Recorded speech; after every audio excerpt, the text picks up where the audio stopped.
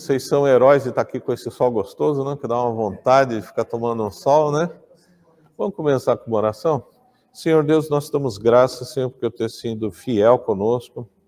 O Senhor participa das nossas vidas, o Senhor cuida de nós, o Senhor cuida das nossas famílias, Senhor. O Senhor cuida dos nossos negócios, empregos, em tempos tão difíceis, Senhor. Pedimos que o Senhor mantenha a nossa fé, mantenha a nossa identidade com os ensinos das Escrituras. Te agradecemos porque ainda temos uma igreja onde podemos encontrar irmãos, amigos, companheiros de luta, Senhor.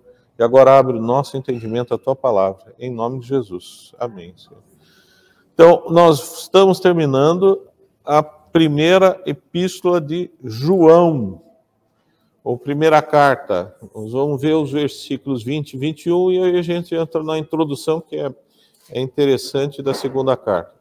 Uh, versículo 20, ele de 1 João 5,20 fala: Também sabemos que o Filho de Deus é vindo. A grande preocupação de João é mostrar que Jesus é o Filho de Deus, tá? Sempre vai ser essa preocupação, tanto no Evangelho quanto nas cartas, porque ele escreve para pessoas que não conhecem a tradição judaica mas conhecem muito bem a ideia de Deus, de deuses, tá? Então ele quer mostrar que ao mesmo tempo que Jesus é o filho de Deus, ele sempre trabalha com a ideia das escrituras, ele não fica falando de filosofia ou humanismo, ele ressalta que, olha, você acredita que existe um Deus ou existem deuses? Saiba que existe o filho dele, e ele é Deus. Essa é a mensagem principal dele. Nas cartas, ele vai trabalhar muito com ensinos, com ética, com o que o cristão deve saber, o que é correto, tá? No evangelho, ele está mais preocupado em que as pessoas creiam e tenham a vida eterna. E aqui ele fala: também sabemos que o Filho de Deus é vindo é uma tradução um pouco difícil, porque os nossos verbos, eles são diferentes dos verbos gregos. Então, o verbo nosso, passado é passado. O que ficou no passado fica no passado. O que está no futuro está no futuro. Só que o grego tem outros jeitos de se explicar, que a gente não vai falar isso numa pregação. Mas uh, ele é, são verbos temporais. Então, por exemplo, o passado deles, ele tem o passado que ficou lá no passado, tá? Ah, aconteceu tal coisa. Aconteceu, não quero mais saber daquilo, tá? Ah, aconteceu e repercute até hoje. Oh, legal. Aconteceu, repercute até hoje, até o futuro. Então, os tempos verbais no grego são diferentes. Não dá para a gente colocar isso no português. Então, ele coloca, o tradutor coloca o Filho de Deus é vindo, não é um, um termo que parece estranho para a gente, não soa legal no português. Significa o quê? Que Jesus veio na história e ele continua atuando até o presente quando se lê essa carta, tá? Essa é a mensagem dele. E nos tem dado entendimento. Uma das características principais daquele que reconhece Jesus como Senhor e Salvador é entender as coisas de Deus, é começar a enxergar as coisas de Deus. A gente tem bem essas figuras de linguagem de era cego e passei a enxergar. A gente lembra muito de Paulo. Paulo, quando está na estrada de Damasco, lá no livro de Atos, ele, ele se torna cego, mas ele já era cego para as coisas espirituais. E aí ele começa a enxergar tudo de novo. Ele vê com outros olhos, tá? O cego de nascença que Jesus pega e vai lá e faz o um milagre na vida dele. Ele começa a enxergar uma outra realidade. Então, através de Jesus Cristo, nós temos entendimento das coisas de Deus, nós temos entendimento das Escrituras, é isso que ele está falando. Entendimento para quê? Reconhecer a verdade ou o verdadeiro. Qual a verdade? A verdade de Deus qual é a mensagem de Deus. Entender o Deus único. E estamos ver, na verdade, ou no verdadeiro, né, eu colocarei mais na verdade, em seu Filho Jesus Cristo.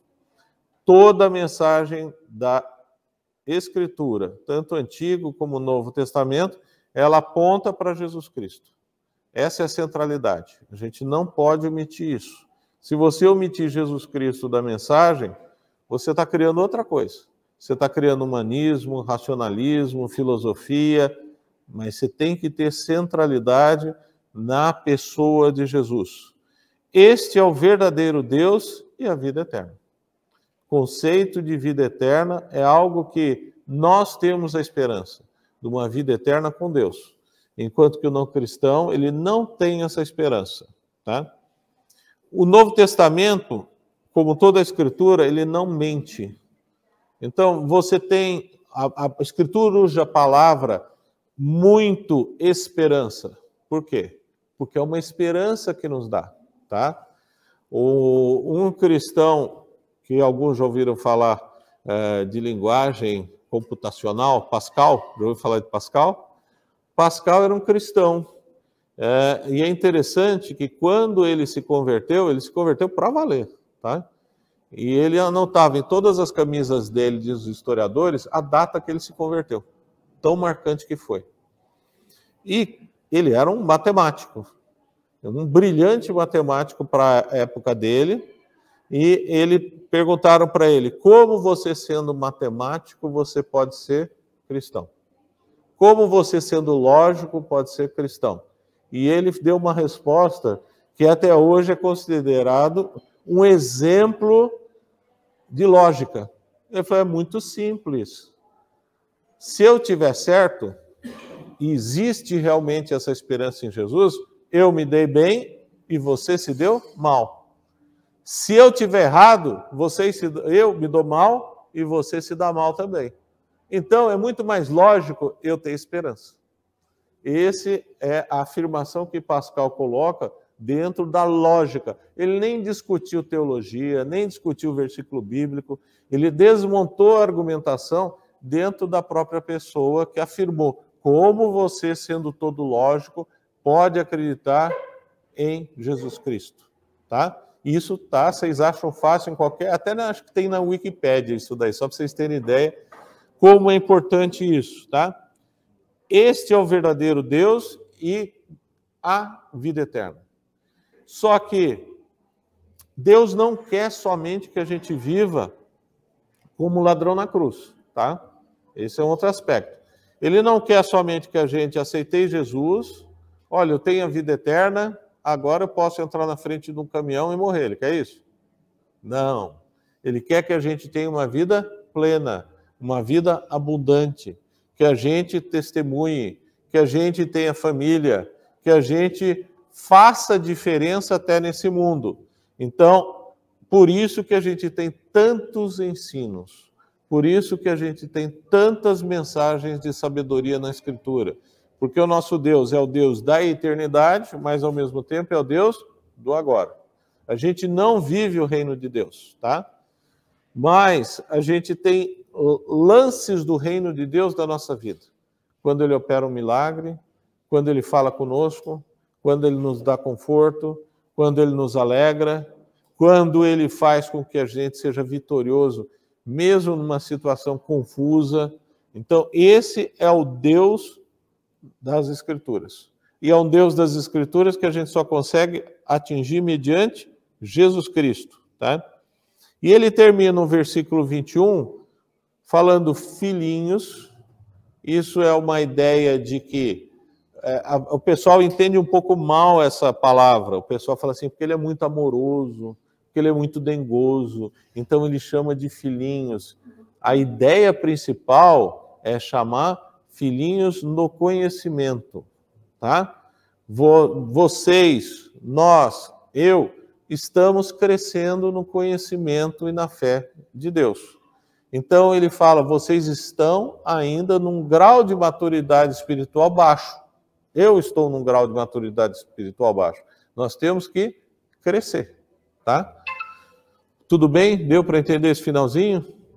Esse final da epístola que é construída e elaborada? Eu queria entrar com vocês na segunda epístola. A segunda carta lembrem o seguinte: sempre vai ter um modelo que tem cabeçário e tem fim. É uma carta convencional no modelo da época, é uma carta extremamente rica, é uma carta elaborada, é uma carta com elementos da gramática da época, tá? E sempre vai ter o cabeçalho. 1 Pedro fala: Pedro, apóstolo de Jesus Cristo, quem está escrevendo, aos eleitos que são forasteiros da dispersão no Ponto, Galácia, Capadócia, Ásia e Bitínia, tá? Então ele está falando, quem está escrevendo, tá? Eu não diria nem a palavra quem está escrevendo, mas quem está narrando, quem, quem é o responsável por dar mensagem, porque era comum naquela época você ter alguém que ditava, alguém que falava e você tinha alguém que escrevia. Hoje, a gente não tem tanto isso porque com o computador você pega e já escreve direto. E quem não quiser escrever, tem até programa que transforma em texto. Nessa época era comum você ter os amanauenses, que é o termo técnico, que simplesmente são é, escritores. Então Pedrão ia lá e falava: ó, oh, escreve para mim assim, escreve para mim assado. Ah, não gostei disso, refaz aquilo, vamos refazer. Então todos os textos que a gente tem do Antigo e do Novo Testamento, eles têm um processo intelectualizado de redação. Não tira a ação do Espírito Santo. Cuidado, tá? Mas o Novo Testamento e o Antigo Testamento, eles são muito bem escritos, são muito bem feitos, e eles são sem erros gramaticais ou de escrita. Tem variação de estilo, mas não muda, tá? Quando você pega, por exemplo, você pega Tiago, Tiago, servo de Deus e do Senhor Jesus Cristo, as doze tribos que se encontram na dispersão, saudações. Também ele está se identificando e para quem eu estou mandando a carta. Cada introdução de carta vai ter uma característica. Cada introdução de carta vai ter uma mensagem, tá? Em 2 João, ele fala assim: o presbítero. Algumas traduções de vocês vão estar como? Quem tem outra tradução? Ancião, tá? Dá no mesmo. A ideia é de alguém que é responsável dentro da comunidade pela transmissão de uma mensagem de ensino teológico. Então, ele está se identificando como alguém que tem capacidade, tem autoridade, tem poder de ensino, tá? o presbítero, a senhora eleita. Aí vem uma confusão que o pessoal muitas vezes não entende quem é essa a senhora eleita. Não é difícil entender. Senhora eleita, ele está falando para a própria igreja. Então, é uma epístola universal. Existem diferenças das cartas. Quando você pega a carta aos Colossenses, ela é típica para a cidade de Colosso. Quando você pega a carta aos a Coríntios, ela é típica de uma realidade de Coríntios. Gálatas, e cada uma vai nesse sentido. Quando você pega Tiago, Tiago fala as doze tribos, é uma carta universal. Quando ele está falando a senhora eleita, isso fala que é uma carta universal. Não é localizada, não é um problema único. É uma instrução que deve ser aplicada para todos tá? E aos seus filhos. Ele coloca a igreja de Cristo. Ele tem muito bem na cabeça dele o conceito que igreja não é prédio, não é instituição, não é organização, são pessoas.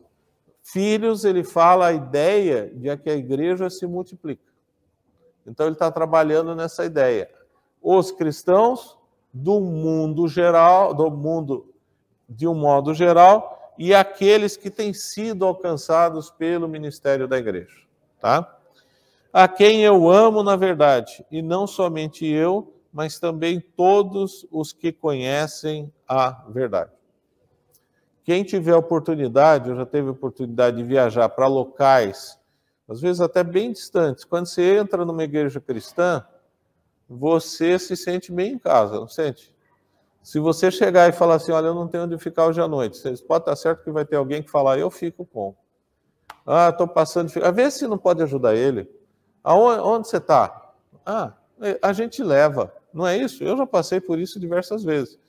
Eu, na época é, que eu fiz pós-graduação, eu fiquei na França e Deus abriu muito as portas para a gente ir, porque a gente já foi com endereço de igreja.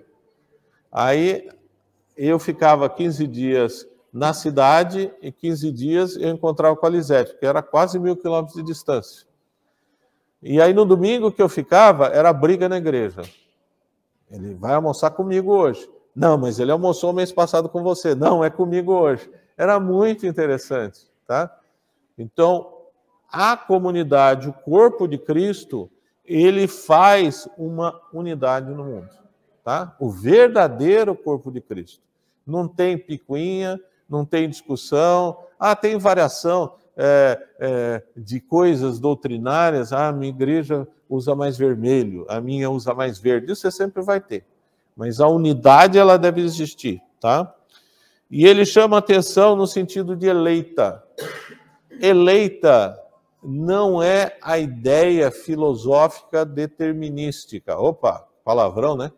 O que quer dizer isso? Os presbiterianos trabalham com a ideia de eleição, como Deus chegou, passou no meio de pessoas e falou: Você é minha. E acabou. Não tem nada que possa mudar, nada que possa interferir, tanto do ponto de vista de pessoas, como da própria pessoa. Para eles, eleição é determinação de Deus, é um decreto de Deus. Para nós, como batistas, eleição não é isso. Para nós, como batistas, e para 95% dos cristãos, não é só batista, acredita que eleição significa a total ciência de Deus no tempo. Então ele sabe que você aceitou em 1992. Ele sabe que seu amigo vai aceitar em 2025. Então é a ideia da presciência de Deus. São coisas diferentes, tá? Mas ele fala de eleição. Não é somente Paulo que fala de eleição. Precisa tomar cuidado porque alguns temas eles são repetidos por escritores diferentes ou autores diferentes. Por causa da verdade, e não somente eu, o versículo 1 termina assim, mas também todos os que conhecem a verdade. Conheceu a verdade? Você faz parte da Igreja Universal do Reino de Deus que não fica lá no Belém, tá? Como universal de verdade invisível. Por causa da verdade que permanece em nós e conosco estará para sempre. A gente passa batido nessas introduções, não passa? A gente passa, vamos ver o que está falando. Olha a riqueza teológica que tem. Olha a mensagem de Deus, tá? A verdade permanece conosco, ela está dentro de nós e conosco estará para sempre. Alguém perdeu a salvação hoje embaixo da cadeira? Não. Ela sempre vai estar conosco. E se aquele fulano fizer muita besteira? A Escritura fala que ele vai ter um galardão lá embaixo mas que ele vai ter a vida eterna. E se ele renunciar à fé? Aí é outra história. Renunciou à fé é outra coisa. O que é renunciar à fé? O que, que significa isso? Eu não quero mais saber de Jesus na minha vida. Eu não quero mais saber de Deus. Eu sei que ele existe, mas eu estou fora. Isso se chama renúncia da fé. Existe? Existe. Todos vocês talvez conheçam um outro que já fizeram isso daí. Tecnicamente, quem gosta de palavra difícil, isso se chama apostasia. Ele apostatou da fé. É a ideia da renúncia da fé. Não é perder. Existe depressão espiritual? Não existe. Ninguém, alguém aqui já passou por depressão espiritual? Só eu. Só eu. Jesus não fala comigo. Deus agora acho que ele está viajando. Cadê? Cadê a obra de Deus na minha vida? Eu estou com um problema, não resolve. Aí eu estou de mal. Eu estou de mal com o pastor, estou de mal com os irmãos, estou de mal com o diácono, não quero mais saber de ler a Bíblia. Isso é uma depressão espiritual. Pastor, uma pessoa que, como é que fala, cometeu apostasia, ele pode voltar atrás? Abre Hebreus 6 e você responde. Abre Hebreus 6 e você responde. E só que tem um problema.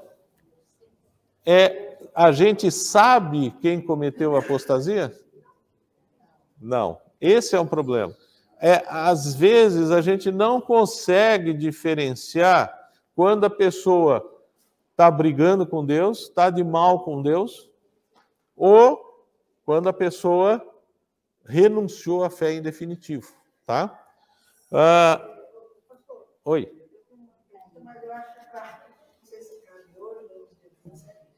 Pessoas, pessoas aí, várias que eu já nasceram na cristã, filhos de crente, mas isso estão aí lá fora fazendo mudar de vida. E aí, numa entrevista, foi perguntado assim: é, mas você é, acredita ainda em Deus? Aí a pessoa respondeu: Eu acredito em Deus, mas não esse Deus que eles lá, os fanáticos tal, da igreja, acredita? Aquele Deus engessado que, que fica gritando regras e que a gente tem regras para fazer as coisas. Eu acredito no outro Deus, eu preciso Deus que Deus quer. E aí isso daí significa o que você falou? É apostatar, né? É apostatar. Ele está renunciando o Deus da história, o Deus da Escritura, e está indo atrás de outro Deus. Por isso que João, ele termina no versículo 21 do capítulo 5, filhinhos, guardai-vos dos ídolos. O que, que é ídolo? É você colocar Deus falso como seu ídolo, como quem você segue. Então tem um monte de gente que renuncia à fé, que é apostasia, não tem nada a ver com perder a fé, tá? Porque infelizmente nós tem pessoas que confundem apostasia com perda de fé. Nós não perdemos a fé. João está falando isso, a mesma coisa. Agora, apostasia, a meu ver, Hebreus capítulo 6, versículo 2, uh, ah, versículo. É, começa no 4. É impossível, tá? Impossível, Hebreus 6, 4. É impossível, pois, que aqueles que uma vez foram iluminados, aí vem uma discussão, se iluminados é aquele que viu Deus agir, ou se Deus participou da vida dele. E provar o dom celestial, para mim, é a ideia de alguém que recebeu a verdade, entendeu a verdade e se tornaram participantes do Espírito. Para mim, o texto vai bem nessa linha. E provaram a boa palavra de Deus e os poderes do mundo vindouro. Para mim, está descrevendo o que o cristianismo tem, né? Uh, nós, como cristãos, uh, fomos iluminados, provamos o dom celestial, tornamos participantes do Espírito Santo, provamos a boa palavra de Deus e os poderes do mundo vindouro. Isso, para mim, o autor de Hebreus, que é muito complicado, ele está falando do cristianismo. Você, como cristão, fez tudo isso. Mas ele está falando, é impossível, no capítulo, versículo 6, caírem, sim, é impossível outra vez renová-los para arrependimento, visto que de novo estão crucificando para si mesmo o Filho de Deus e expondo-os à ignomínia. Então, a minha interpretação pessoal dessa passagem é que isso se refere à renúncia da fé. Alguns outros, principalmente da linha mais eh, presbiteriana, reformada, vão falar: ah, mas esse daí nunca conheceu Jesus, tá? A minha interpretação não é única de outros autores. Aqui está falando de pessoas que realmente tiveram uma experiência com o Espírito Santo. Ah, eu não aceito isso. Para mim, ele nunca foi salvo. Não vou discutir, isso é uma posição pessoal. A minha posição é que esse texto explica como sendo renúncia da fé, não perda da fé. A salvação, a gente, perda da salvação, a gente não perde a salvação, tá? Você pode sair e esquecer o celular aqui, não pode? Mas você não vai esquecer sua salvação. Tá?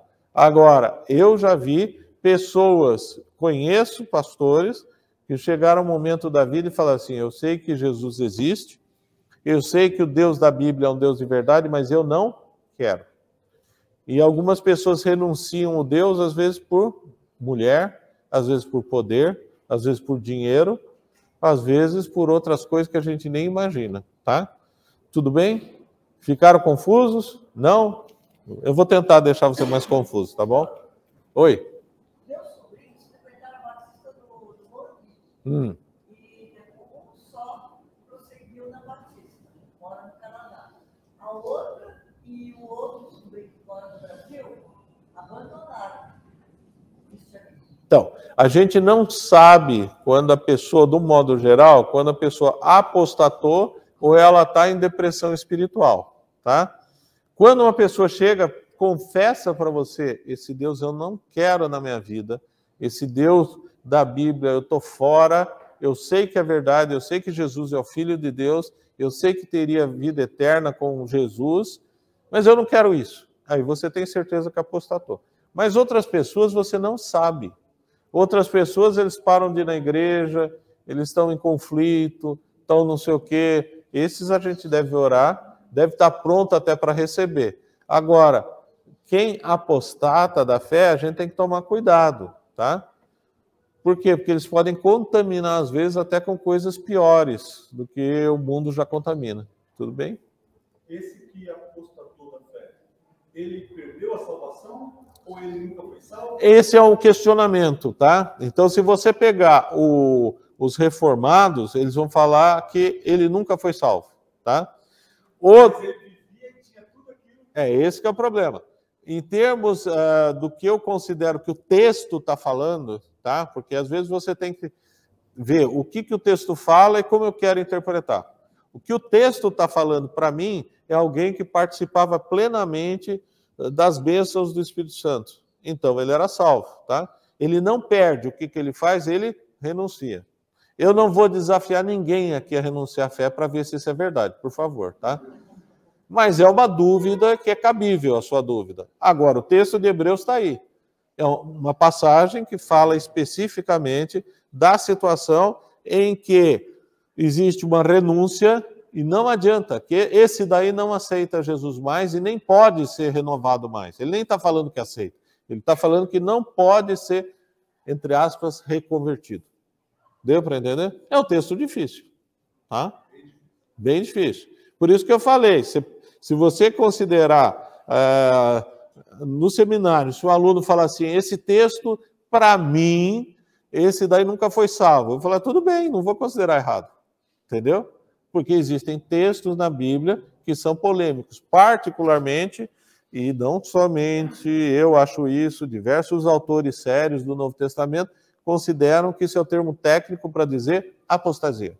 Apostatou da fé. Eu renunciei à minha fé. E a gente vê isso. Tem um pastor do Nordeste que ele foi presidente, o diretor do, da convenção estadual lá, regional, sei lá das quantas, e aí ele se tornou um mulá. O mulá é um sacerdote muçulmano. E ele falou que ele falava, né? Agora não sei se nem está vivo ainda. Ele falava que o cristão era é, politeísta porque acreditava no Deus Pai, no Deus Filho e Deus Espírito. E que ele, no Islã, ele encontrou o Deus único e verdadeiro. Tá? Ele falava isso. Ele era um pastor batista. e se você está na igreja mais tempo, você vai conhecer um ou outro que apostatou da fé, renunciou da fé. Não é mudar de igreja. Hã? Não, esse é um pastor mesmo. Esse é um pastor, é pastor batista. Hã? Segundo o autor de Hebreus, não. E é que eu saiba, ele nunca se arrependeu. Uma prima e gente família, porque realmente ela foi. Ela realmente, até muitas vezes fala assim, é o seu Deus. É. é. O seu Deus. O Deus de vocês. Porque a gente fica todo ficamos mudos, né? A gente nem. Não adianta entrar na discussão. Não adianta. Não adianta. Não adianta. Quem gosta de teologia, ah, que às vezes mais complica que ajuda, dentro do presbiterianismo, dentro do calvinismo, tinha um professor universitário que chamava Jacques Armênios, tá? Não é o nome verdadeiro dele. Aí ele chegou e ele via que pessoas que tinham crescido no cristianismo, que pessoas que tinham feito todo aquele negócio lá, batizar quando criança, profissão de fé do presbiterianismo quando maior, etc., chegava um momento e falava assim: Eu não quero esse Deus. E ele falava: Olha, então existe algo a mais. Então, eu, o Calvino falava da graça irresistível. Deus escolheu, está escolhido. Você não tem opção nenhuma. Deus escolheu, você não muda o seu destino. Ele era determinista. Isso não é uma doutrina cristã, tá? Mas é uma doutrina filosófica. E Calvino vem de origem católica. Então ele pegou muito do catolicismo que trabalha com a filosofia. Aí ele falou: isso está tá errado. E ele que começou dentro do presbiterianismo a falar que a salvação não é que ela seja perdida, mas você pode renunciá-la, que Deus não tira a nossa liberdade. Nós fazemos escolhas até hoje, o tempo inteiro, não fazemos? Tá? Algumas certas, algumas erradas, algumas péssimas. Tá? Ok? Agora ficaram com dúvida? Agora ficaram. ok. Então vamos lá. Ah, de, então, por causa da verdade que permanece em nós, segundo João 1, 2, e conosco estará para sempre.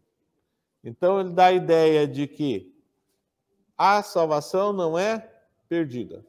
Esse é um ponto que a gente bate bastante, que tem alguns irmãos de linha mais pentecostal que falam que a salvação é perdida se você pecar. O João não está trabalhando com isso de jeito nenhum. Ele associa pecado com santidade, mas jamais com perda da salvação, tá? Ele inclusive enfatiza que nós continuamos pecando e que nós temos um advogado de porta de cadeia que é Jesus Cristo. Só que ele fala que nós não vivemos na prática continuada do pecado, tá? Nós temos um processo e aí ele vai falar: a graça, a misericórdia e a paz da parte de Deus Pai e de Jesus Cristo, Filho de Deus, serão conosco em verdade e amor. Aqui ele está falando de três aspectos: graça, misericórdia e paz. Tá? É extremamente rico a introdução. Se fosse assim, analisar, é mais profundo até do que as outras passagens da segunda epístola. O que, que é graça? Todo mundo vai saber. Favor e merecido, que a gente decora isso, né? Tá? É, é algo que é dado. Ele é dado. Não é cobrado nada em troca. Deus dá. E Deus dá o quê? Deus dá o filho dele no nosso lugar, tá? A salvação, ela vem em consequência disso. A salvação agora, a salvação futura e a salvação com o conceito de eternidade, tá? Então, Deus dá, ele não exige nada. Tomar cuidado, porque a graça tem responsabilidade. A graça é de graça, mas ela não é irresponsável. Efésios 2, de 8 a 10. A gente sabe decor o 8, né? Então leiam o 8.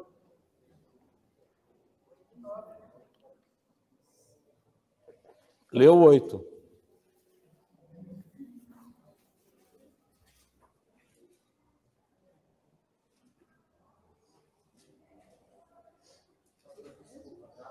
Efésios 2, 8. 8. Pode ler. Pode ler bem alto.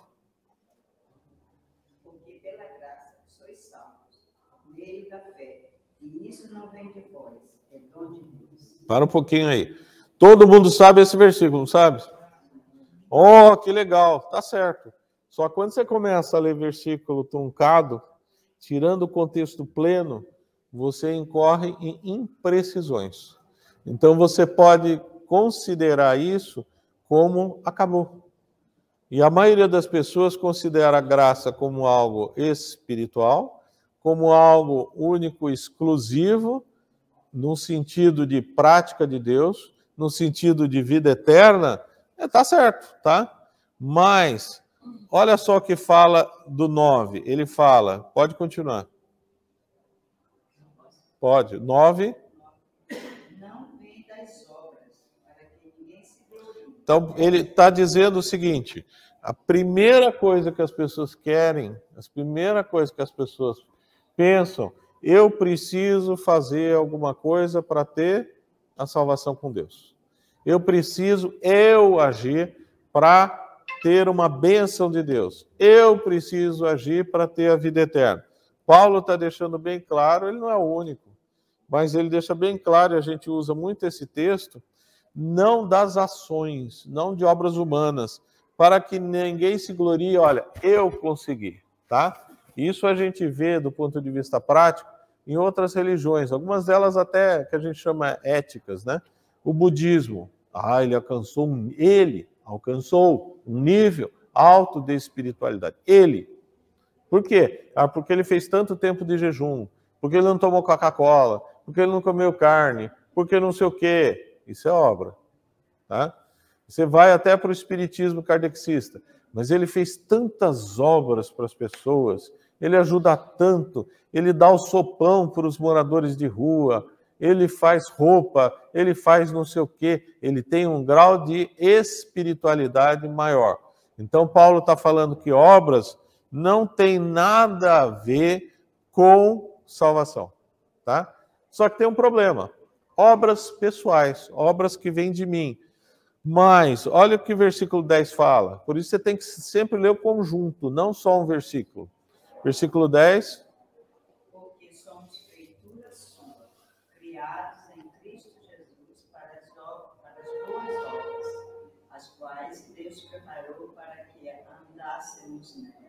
O verdadeiro cristão, ele foi feito por Deus, mediante a graça. Ele é criado em Jesus Cristo com uma finalidade. Qual é a finalidade? Boas obras. Então, o verdadeiro cristão, ele é um bom agente. Ele testemunha, ele faz diferença no mundo, na sociedade, no meio que o cerca, no trabalho, na família. Ele tem que fazer diferença.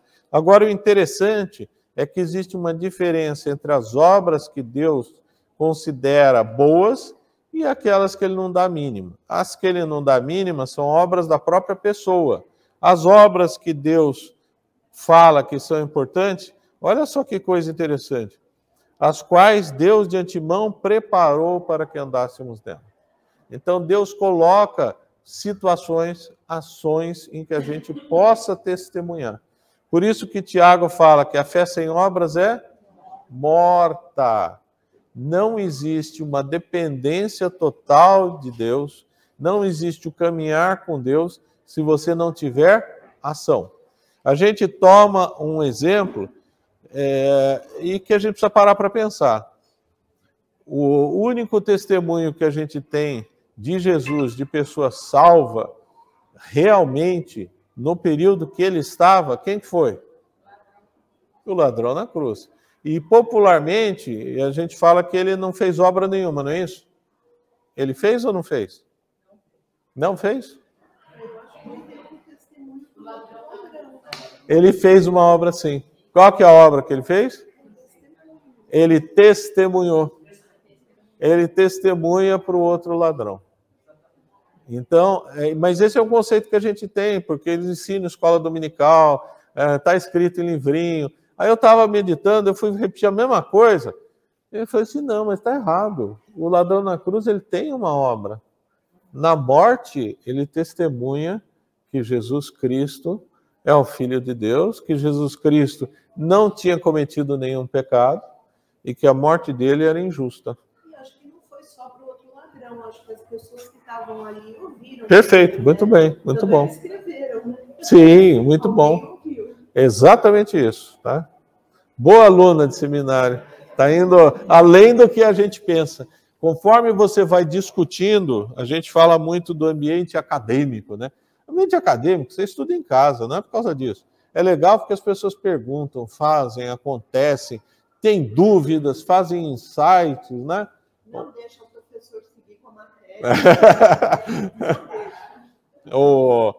nós temos dois insights aqui do reverendo João que a gente tem que falar, né?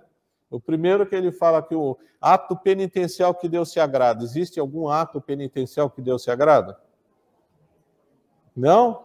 Ato penitencial, quem é do catolicismo? Eu vou dar cinco chicotadas nas minhas costas.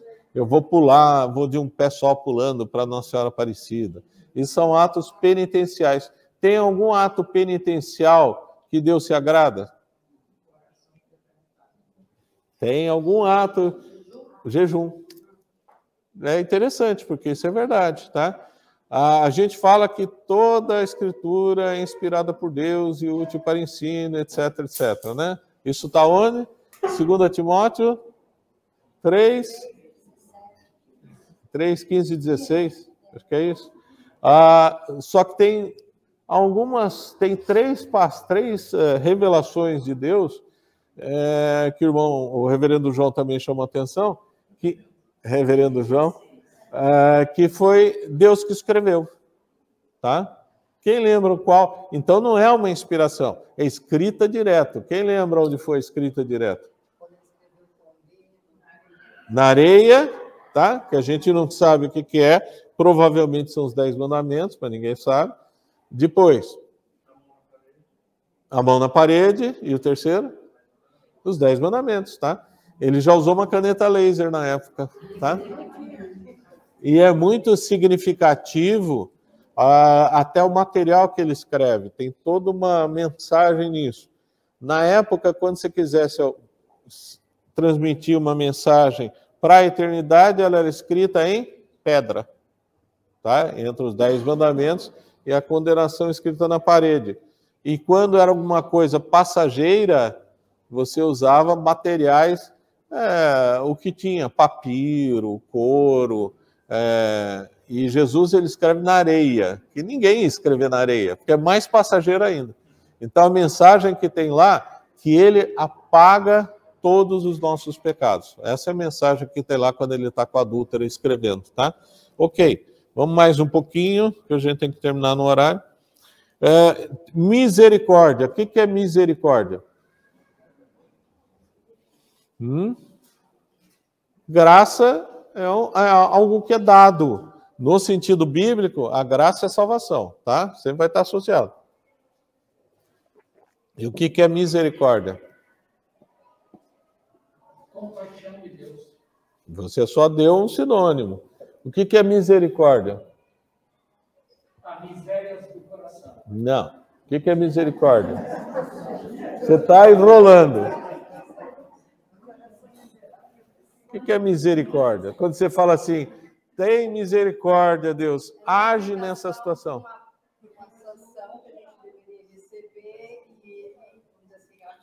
É uma ação sobrenatural num evento que já deveria acontecer. Então, a pessoa que está morrendo, você pede misericórdia de Deus. Ou que ela pare de sofrer, ou que restaure. Isso é uma ação de Deus. Ah, olha, eu estou sem emprego, sem perspectiva. Eu clamo a misericórdia de Deus existe uma ação sobrenatural. Então, misericórdia tem um sentido de ação sobrenatural de restauração, tá? Então, o nosso Deus é um Deus de misericórdia, tá? Não entendi? Uma única palavra que define misericórdia. Não tem. Não tem. É, mas não tem. Se tivesse, aqui que é bem-aventurança. Traduz numa palavra só. Aqui que é aleluia. Traduz numa palavra só. Não tem. Algumas tanto que não tem, que você nem traduz, você coloca aleluia lá, tá? Então, misericórdia é a ação sobrenatural de Deus num evento. Um evento que é prejudicial para nós e que ele vai agir e restaurar, tá? Então poderia traduzir uma palavra restauração, é pobre a palavra. Não dá, não tem sentido. Então você teria que usar. Uh, eu gosto muito da, palavra, da passagem de uh, eh, 2 Coríntios, capítulo 1, porque cada, cada um dos apóstolos vai trabalhar com uma mensagem específica, tá?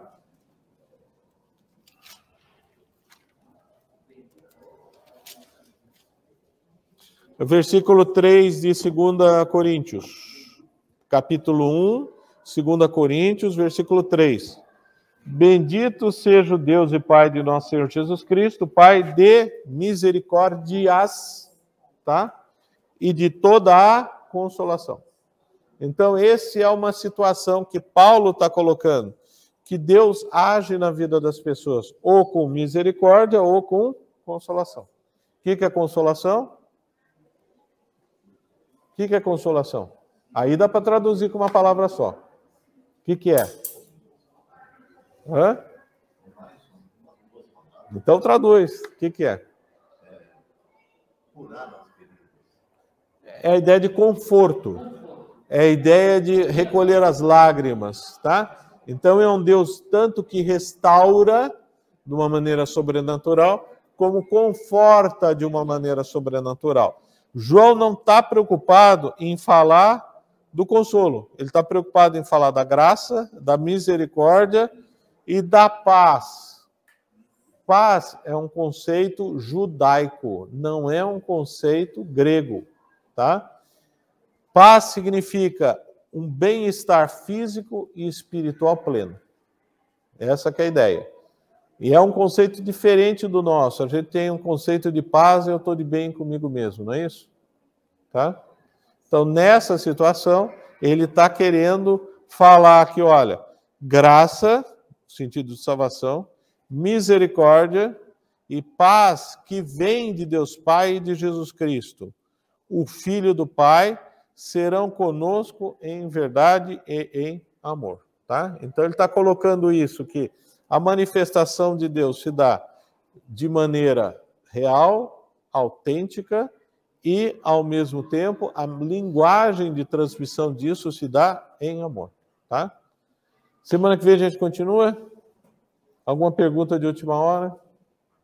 É, pastor, o que é misericórdia? né? Misericórdia é ação sobrenatural de Deus atuando e mudando um sentido natural. Então, é ação sobrenatural sobre o natural. É a ideia de restauração. Se for traduzir numa palavra só, que é pobre, seria restauração, mas ela é pobre. Sobre a graça, sobre a graça. A graça, do ponto de vista do céu, é salvação. Do ponto de vista da terra, quando do espinho da carne, no capítulo, em 2 Coríntios, capítulo 12, versículo 9, quando, quando Deus fala, a minha graça te basta, a graça na terra tem um segundo, tem uma conotação de, de presença de Deus na terra. Mas é salvação do mesmo jeito, não muda. Nós fomos salvos. Aqui no céu é salvação. Não, Na é que nós fomos salvos, nós estamos sendo salvos e vamos ser salvos. Nós continuamos na terra e nós não estamos sendo salvos. O que é a ideia de salvação? Ela é só espiritual? Hã? Ela é toda.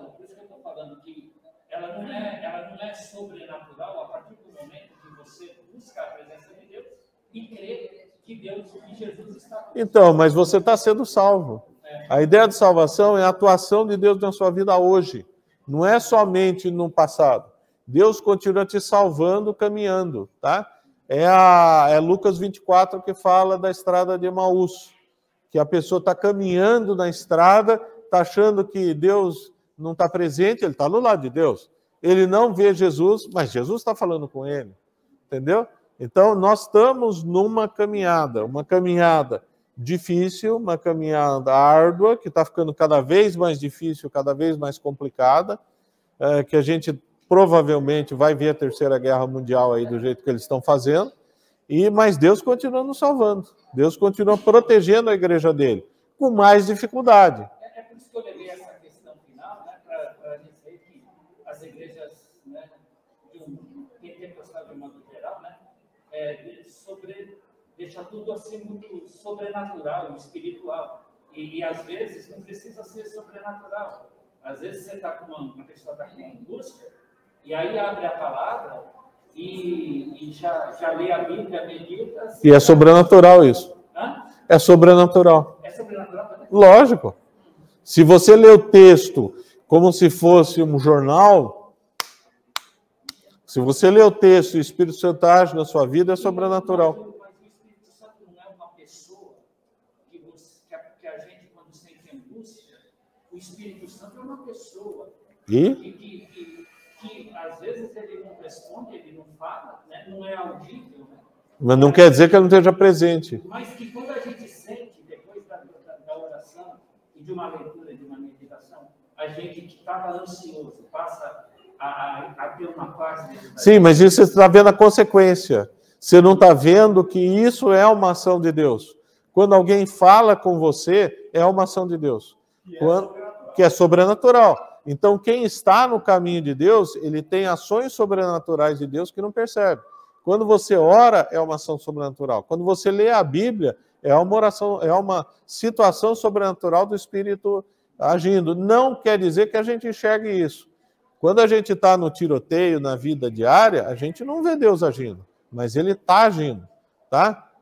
Deus não nos desampara, nem esquece de nós, Ele não se omite, tá? A gente que tem a perspectiva que está omitindo. Agora, não quer dizer que a gente às vezes não faça besteira de querer resolver as coisas sozinho. Aí é outra história. Você não quer escutar o que Deus está falando. Não, não estou falando de você. Eu estou falando geral, jamais vou falar de você. Fica tranquilo. Tudo bem, mas isso é uma ação sobrenatural. Se você lê um jornal, ah, mas o que é um jornal? Ah, se você lê uma, uma Bíblia é, de- livre, tá? Você vai ler Bíblia, mensagem, o texto. Olha, vai ser difícil o Espírito Santo trabalhar com aquele texto, tá? Se você lê um livro positivista, mas aquele livro animou tantas pessoas, mas não tem o Espírito Santo. É uma felicidade cognitiva, não é uma felicidade espiritual. Isso que eu estou querendo transmitir. Alguém termina em oração?